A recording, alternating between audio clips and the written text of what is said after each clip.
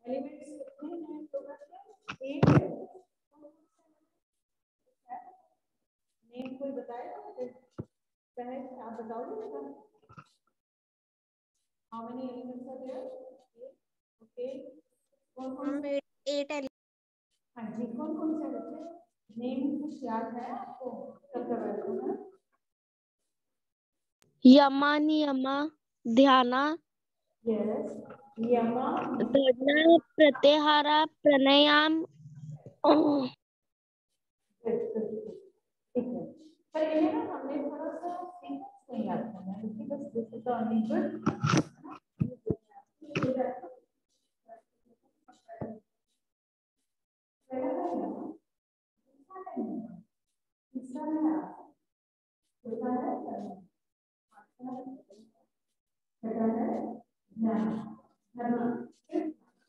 और फिर उसके बाद लास्ट में को समान ठीक है ना बेटा हमने इसे अपने तरीके से थोड़ा सा इसे फॉर्मेशन देकर हम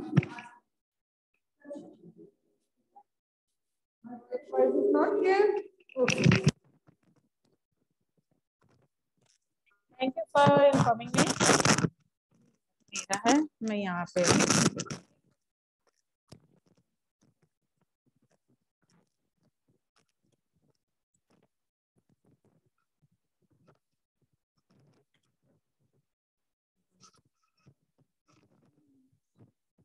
नाउ इज़ इट क्लियर ऐसे पकड़ लेते हैं। क्लियर है बेटे आप?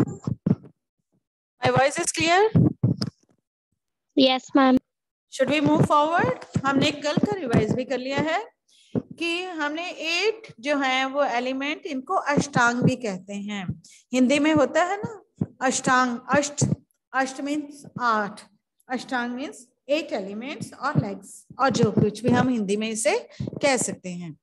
तो ये एट एलिमेंट्स तो हैं, यमा, नियमा, आसना। अब जो आसना के बारे में अगर आ जाए कि write a note on asana so, you have to write this is the third element of a yoga. ठीक है? एंड आसना किसको कहते हैं बेटे? पोस्टर्स ऑफ़ बॉडी पोस्चर को हम आसना कहते हैं। And it is further divided into three parts lying sitting and standing posture ठीक है ना? इन तीन वे से हम आसन को कर सकते हैं। कल हमने आसन एक के बारे में डिस्कस किया था स्टैंडिंग आसन के बारे में, कि कौन कौन से स्टैंडिंग आसन है, या इसके एग्ज़ाम्पल भी आ सकते हैं। वट क्वेश्चन है तो कुछ भी आ सकता है। तो उसमें हमने क्या बताया है बेटे? कि हमारे आसन जो हैं स्टैंडिंग में, ताड़ आसन के बारे में कल बताया था, कि अपनी बॉडी को अपवर्ड स्ट्रेच करते हैं, जिससे हमारी लेग्स की फ्लेक्सिबिलिटी एंकल की फ्लेक्सिबिलिटी मसल स्ट्रॉन्ग हो जाते हैं, हमारी फैट जो है कम हो जाती है हाइट गेन हो जाती है बच्चों की। इसलिए दिस एक्सरसाइजेज और you can say this asan is good for our this thing and moreover spondylitis वगैरह नेक्स्ट स्पॉन्डिलाइटिस के लिए हमारे ये बहुत अच्छा लगता है। अब हमने दूसरा करना है। दैट इज़ रिगार्डिंग कौन सा आसन है? त्रिकोण आसन। त्रिकोण का मतलब क्या होता है बेटा? What is the meaning of trikona Hindi में त्रिकोण किसको कहते हैं बेटा? पता है आपको? ट्रायंगल यस ट्रायंगल ठीक है ना? जैसे चौरस बोलते हैं चार एंगल वाले को स्क्वायर जिसको हम बोलते हैं इसी तरह ट्राइंगल जो है दैट इज़ अ तीन कोण वाला। ठीक है ना? जिसके वर्टेक्स थ्री होते हैं उनको हम ट्राइंगल कहते हैं। इज़ इट क्लियर बेटा? अब त्रिकोण आसन हम कैसे करते हैं?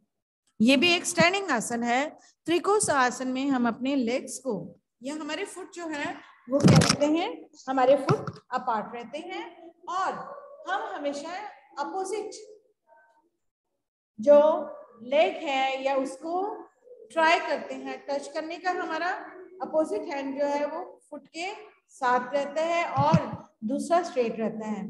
इससे नॉर्मली क्या होता है? हमारी शेप जो है वेस्ट की शेप कमर की वेस्ट का मतलब यहाँ पर कमर है, ठीक है ना? वो कैसी हो जाती है? यह हम ट्रंक कहते हैं, इसमें एक तो फ्लेक्सिबिलिटी आ जाती है और जो एक्स्ट्रा फैट होते हैं, वो धीरे धीरे शेट डाउन होना शुरू हो जाता है। यानी कि मास जो है या फैट जो है हमारी बॉडी में, वो कम होना शुरू हो जाता है। और जो हमारी बॉडी से फैट निकलेगा तो ऑब्वियसली ऑब्वियसली हमारी क्या हो जाएगी? लेस हो जाएगी। इसके साथ साथ ही क्या होता है बेटे? पेट के टर्न करने से, हमारे साइडवर्ड करने से बहुत साइड हम करते हैं तो इससे जो एसिडिटी की प्रॉब्लम्स होती हैं। नॉर्मली जो एसिडिटी की प्रॉब्लम क्या हो जाती है? हमारी वो ठीक हो जाती है। हमें उस चीज़ की प्रॉब्लम नहीं रहती है, जिसके कारण हमारा डाइजेशन जो है, उसकी वर्किंग भी स्मूथ हो जाती है। नॉर्मली होता है ना कई लोगों को एसिडिटी की प्रॉब्लम काफ़ी ज़्यादा रहती है, या उनके लिए, या वो मेडिसिन लेते हैं, या कुछ ना कुछ उनका चलता रहता है। लेकिन जब हम त्रिकोण आसन वगैरह करते हैं तो ऐसी प्रॉब्लम्स जो है, वो रिमूव हो जाती है। इज़ इट क्लियर बेटा? इतनी बात आपको क्लियर हो गई है? अब नेक्स्ट अगर हम लें कि अर्ध चक्र आसन अब ये जितने भी आसन है ना बेटा, इनके हिंदी में जो एक्चुअल नेम है, और उसे कन्वर्जन इंग्लिश में भी किया गया है। जैसे त्रिकोण आसन ट्रायंगुलर आसन ठीक है? यहाँ हम उसे पोज कह सकते हैं। ऐसे अर्ध चक्र आसन पहले तो अर्ध चक्र का मतलब क्या होता है? अर्ध का मतलब आधा। चक्र मीन सर्कल सेमी सर्कल हो गया ना? अर्ध चक्र मतलब हम क्या कह सकते हैं? लेटरल व्हील पोज या हम अपना पूरी बॉडी को टर्न करते हैं। अब इसमें क्या हमें होता है? पहले हम स्टैंडिंग पोजीशन ये भी स्टैंडिंग पोजीशन का ही एक आसन है।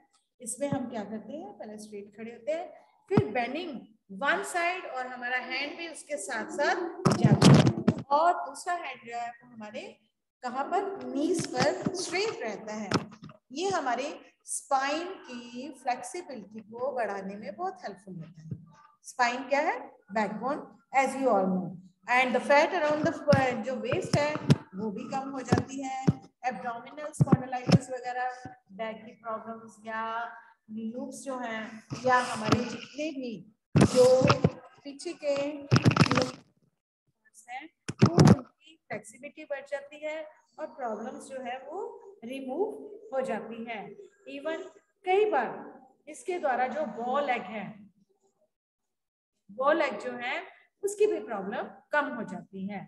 कल मैंने कहा था आपसे, वो लेग से मुझे याद आया है कि डिफॉर्मेटीज के बारे में कल मैंने आपसे बोला था कि मैं आपको थोड़ा सा हिंट दूँगी ताकि आपके लिए प्रॉब्लम ना हो कि ये जितनी भी आसन हैं, वो हमारी डिफरेंट टाइप्स ऑफ़ डिफॉर्मेटीज को रिमूव करने में हेल्पफुल होती है। ठीक है ना बेटा? ये हमारी अलग अलग प्रकार की डिफॉर्मेटिस को रिमूव करने में या इम्प्रूव करने में बहुत ही हेल्पफुल होते हैं। ना the question is what is deformity deformity क्या चीज़ है? फॉर्मेटी क्या होता है? या फॉर्मेशन क्या होती है? व्हाट इज़ फॉर्मेशन किसी चीज़ की बनावट। और जब किसी चीज़ की बनावट में चेंज आ जाए उसे हम कहते हैं डिफॉर्मिटी ठीक है? हमारी जो ओरिजिनल हमारी जो ओरिजिनल फॉर्म है, या हम, हमारा जो स्ट्रक्चर है, वो किस तरीके से है बेटा? That is don't go for the diagram straight है बैक स्ट्रेट होनी चाहिए. शोल्डर्स ब्रॉड होने चाहिए हमारे. ठीक है बेटा? लेग स्ट्रेट होनी चाहिए. स्पाइन बैक बोन स्ट्रेट होनी चाहिए। नेक बिल्कुल सामने देख रहे हो। ये हमारी एक्चुअल पोस्चर है। This is our exact posture standing straight keeping the eye the parallel way हमारे शोल्डर्स ब्रॉड होने चाहिए स्ट्रेट ठीक है, हमारी बैक जो है वो स्ट्रेट होनी चाहिए लेग स्ट्रेट होनी चाहिए। लेकिन बिकॉज़ और you can say due to some causes और due to adoption of different types of things हम कई बार अपने पोस्टर को खुद खराब कर लेते हैं। ठीक है? कल पहली बात हुई थी काइफोसिस की। अब ये काइफोसिस होता क्या है? काइफोटिक प्रॉब्लम क्या है?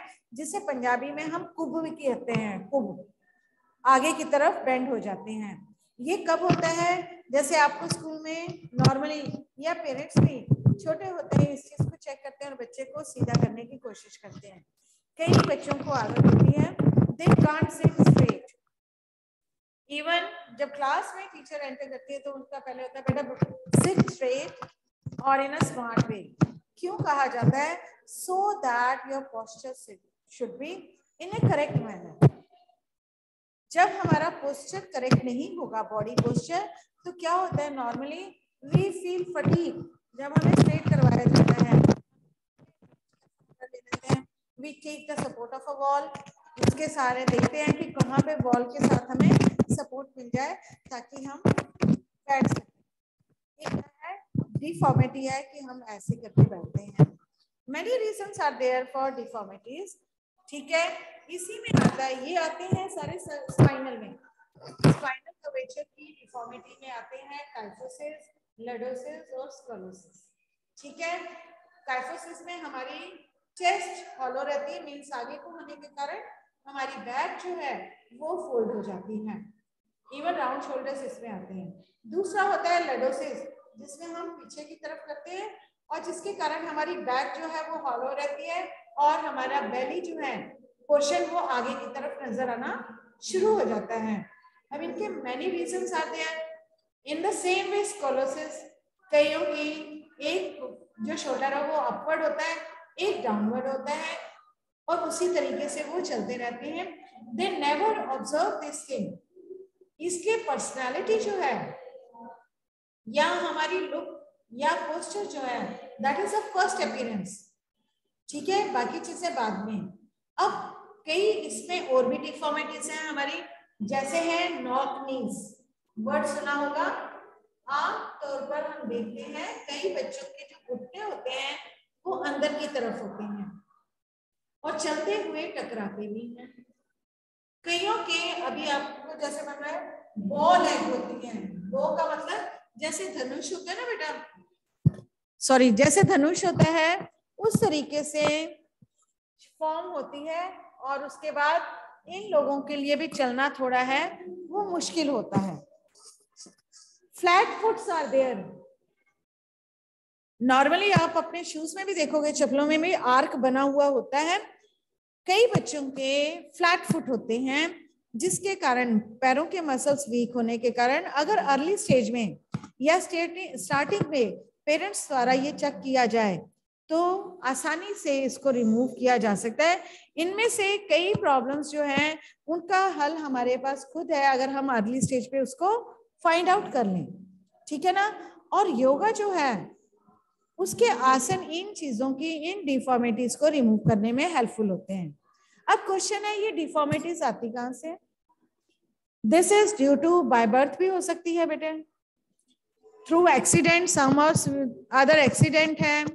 एडॉप्टिंग अ लाइफस्टाइल हम जिस जैसा लाइफस्टाइल लेते हैं, कई बच्चों को आदत है बेड पर ही लेटे रहने की, या कुर्सी पे ही टेढ़े हो जाना, या कुछ है, उस चीज़ का।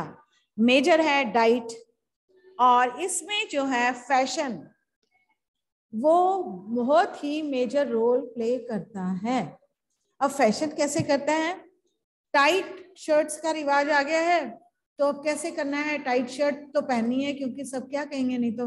Then we started wearing it and we keep a body in such a way ठीक है? चाहे हमारी बॉडी में फटीक होती रहे, थकान हो जाती है, हमारी वर्किंग एफिशिएंसी कम हो जाती है, लेकिन हम फ़ैशन करते हैं। ऐसे ही शूज़ टाइट शूज़ का रिवाज है, आगे से क्रोकोडाइल या वी शेप में है, हमने वही पहने हैं, उससे क्या है, हमारे पैर आगे से दब जाते हैं और हमारी चाल बिगड़ जाती है। In the same way for the girls and the people still their pencil heel है, दूसरी हील्स हैं उसके पहनने से हमारी जो चाल है उसमें हमेशा खराबी आती है। ठीक है? आई एम नॉट कंडेम नहीं कर रही हूँ, मैं एक जनरल आपको एग्ज़ाम्पल दे रही हूँ। This is not related to anything ठीक है? ये क्या है? या पैंट पीछे देखा था हमने? बहुत टाइट और below the waist pant boys पहनते थे और दो दो मिनट बाद ऊपर खींचते हैं। Then what to to maintain that या तो वो अपनी चाल को खराब करते हैं, या फिर उनके हैंड्स जो है, ये वर्किंग पर कंटिन्यू लगे रहते हैं। These are the major causes of deformity of our body deformation हो जाती है हमारे पोस्चर की। So we should take care of this thing जो चीज़ हमारी बॉडी के लिए रिक्वायर्ड है, उससे भी ज़्यादा है ओवरबर्डन कई बार आदत होती है बच्चों को टाइम टेबल स्कूल से मिलने के बाद भी मामा या खुद सारी बुक्स डालते, लेते हैं, क्यों? कौन रोज निकालेगा? कौन भूल जाएगा? मैडम ने तो टाइम टेबल में दिया है, दो दिन ये, दो दिन ग्रामर है, लिटरेचर पार्ट है तो मैं अगर भूल गया ये रोज क्यों निकालेगा? सारी बुक्स भर के ले आनी, और उसके बाद बैग को जिस तरीके से हम लेके आते हैं, हमारी बैकबोन और शोल्डर्स वो राउंड फॉर्म में आ जाते हैं।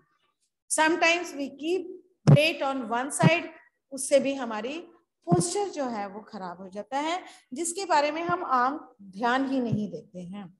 इनकी रेमेडीज जो हैं, या इन चीज़ों को ठीक करने में बहुत ज़्यादा हेल्पफुल है योगा, या स्टार्टिंग में इन्हें देखकर हम इन्हें आसानी से बच्चों की इन फॉर्मेशंस को ठीक कर सकते हैं। काफ़ी हद तक ये ठीक भी हो जाती हैं। इसलिए हमें इन चीज़ों का ध्यान रखना बहुत ही ज़रूरी है कि हमने किस तरीके से इन सारी चीज़ों को चेक करना है। ठीक है बेटा? अब जो नॉर्मली अर्ध चक्र आसन है how to do the ardh chakra asan standing straight then turning your trunk दूसरे साइड पे ट्रंक को टर्न करना in the same way again in a this इससे हमारी यहाँ की जो वेस्ट की फैट है, वो कम होगी एब्डोमिनल उसका चेंज होगा, हमारी स्पॉन्डिलाइटिस प्रॉब्लम्स जो है, या स्कोलोसिस प्रॉब्लम जो है, जिनके जो शोल्डर्स है वन साइड बेंडिंग होते हैं, वो ठीक हो जाते हैं। इवन बॉल एग वाले, क्योंकि जब हम कहते हैं पैरों को जोड़कर ये एक्सरसाइज करनी है तो उनके बॉल एग्स जो हैं, उनमें भी चेंजेस आ जाती हैं। उसके बाद है vrikshasana. You know vrikshasana is standing on the one leg और दूसरी लेग को ऊपर उठाकर बैलेंसिंग करना और हैंड रेस करके ऊपर की तरफ़ उन्हें जोड़ना। अब ये क्या चीज़ें हैं? ये इंप्रूव करती है हमारी लेग्स की स्ट्रेंथ को, हमारी बैलेंस जो है क्वालिटी उसको और ज़्यादा इम्प्रूव करती है। और आर्थराइटिस प्रॉब्लम या फिर नॉक नीस नॉक नीस को ठीक करने में काफ़ी हेल्पफुल रहता है वृक्षासन। ठीक है? क्योंकि हमने एक लेग पर खड़े होना है दूसरी लेग को ऊपर लगा घुटने तक लेके आना है और अपनी बॉडी को ऊपर की तरफ़ खींचना है। इसमें क्या होता है? Arthritis problem you know the problems which are related to the bones those are called arthritis joints के साथ, हमारी बोन जॉइंट्स के साथ जो रिलेटेड प्रॉब्लम्स होती है, उन्हें हम आर्थराइटिस प्रॉब्लम कहते हैं। उन्हें ठीक करने में बहुत ज़्यादा ये हेल्पफुल होती हैं। Then garudasana as you all know how to do the garudasana इसमें भी लेग बैलेंसिंग है। हमारी मसल्स जो हैं, वो टोन अप हो जाती हैं अच्छी तरह। हमारी लेग्स की फ्लेक्सिबिलिटी हमारी स्ट्रेंथ को, हमारी स्ट्रेंथ माइंड को, क्योंकि बैलेंसिंग करना कोऑर्डिनेशन एबिलिटी को क्या करती है? ये हेल्पफुल होती है। अगर नॉर्मली है कि हमने क्वेश्चन आए कि write the write some standing asana तो उसमें हम आसानी से इनके बारे में लिख सकते हैं कि ये जो आसन हैं, ये सारे खड़े होकर करने वाले हैं। ताड़ आसन है, वृक्ष आसन है आसन है, हमारा तिकोन आसन है, ये सारे गरुड़ आसन है। ये किसके अंदर आते हैं? ये सारे के सारे हमारे किसके अंदर आते हैं? स्टैंडिंग पोजिशन के अंदर। स्टैंडिंग आसन में हम इन आसनों को लेते हैं। इज़ इट क्लियर बेटा? इज़ इट क्लियर अब जैसे मैंने आपको ये डिफॉर्मिटीज का बताया बेटा बो लेग सॉरी बो लेग का है या फ्लैट फुट का है तो इनके रेमेडीज भी हैं। ठीक है? फ्लैट फुट में क्या होता है? अर्ली स्टेज पे ही पेरेंट्स को ये चेक कर लेना चाहिए। तभी हम कहते हैं ना हेल्थ एजुकेशन क्यों ज़रूरी है हर एक के लिए? Because of knowing this thing in early stage you can save the child life in a very better क्योंकि इन चीज़ों से जब डिफॉर्मिटीज आ जाती है हमारे अंदर ऐसी तो हमारे में इंफेरिटी कॉम्प्लेक्स भी आ जाता है कंपेरेटिवली बाकी चीज़ें तो गॉड गिफ्टेड भी हैं but those which are adopted by us चलते हुए अगर शुरू में बच्चा चल रहा है, उसे चेक ना किया जाए। और सिर्फ़ ये कि ओ हो शुक्र है, इसने चलना शुरू कर दिया that is not enough you have to keep an eye the child everything growth में यही ग्रोथ है जो हमने लेसन पढ़ा है। यही ग्रोथ है कि जब ग्रोथ हो रही है, हमने ये चेक करना है कि उसकी चाल जो है वो सही है या नहीं है। उसकी लेग्स कहीं आउटवर्ड तो नहीं हो जाती हैं चलते हुए, कहीं इनवर्ड तो नहीं चली जाती हैं, कहीं पैर जो है वो पूरा तो नहीं पड़ता, क्योंकि इससे मसल्स वीक होने के कारण पैरों में आर्क नहीं बनता। और आप देखते हो कि हर शू में आर्क की फॉर्मेशन बनी हुई होती है। देखा ना बेटा, सब जो शूज़ हम डालते हैं, उसमें आर्क बना हुआ होता है। तो ये डिफॉर्मिटीज रिमूव करने के सोर्सेस जो है वो नेक्स्ट जब इसका एक्चुअल लेसन आएगा, तब करवाएँगे। This is just an examples which are related with the asanas ठीक है? और जो आपको कल प्रैक्टिकल फ़ाइल में कहा है, यही है कि आसन के प्रोसीजर लिखो कि वो किस तरीके से हम करते हैं और उसके बेनिफिट्स कि इससे हमें इन आसनों को करने से हमें क्या फ़ायदा होता है। उसके बाद आता है बेटे सिटिंग आसन अब सिटिंग आसन भी हैं, जैसे स्टैंडिंग की है। ऐसे हमारे पास सिटिंग आसन भी काफ़ी सारे हैं। उसमें सबसे पहले अगर नाम आता है, जो आमतौर पर लोगों ने सुना होता है, वो होता है पद्मासन। हम उसे कहते हैं पद्मासन, सिटिंग आसन में सॉरी इसको लोटस के नाम से भी जाना जाता है। लोटस आसन या लोटस पोस्चर भी इसे कहा जाता है। क्योंकि वाइल डूइंग सिटिंग आसनास हमारी लेग जो है, वो क्रॉस होती है स्पाइन स्ट्रेट होती है हैंड जो है, वो near to the straight near to the knees होते हैं। इसमें क्या होता है? ये हमारी सबसे अच्छी मेडिटेशन पोस्चर है। लोटस आसन या पद्मासन जो है, वो हमारा मेडिटेशन पोस्टर है और ये बेस्ट है। इसके बाद क्या होता है? हमारी लेग्स की स्ट्रेंथ को और हमारी लेग्स की फ्लेक्सिबिलिटी को बढ़ाने में ये हेल्पफुल होता है। जस्ट ए मिनट बेटा।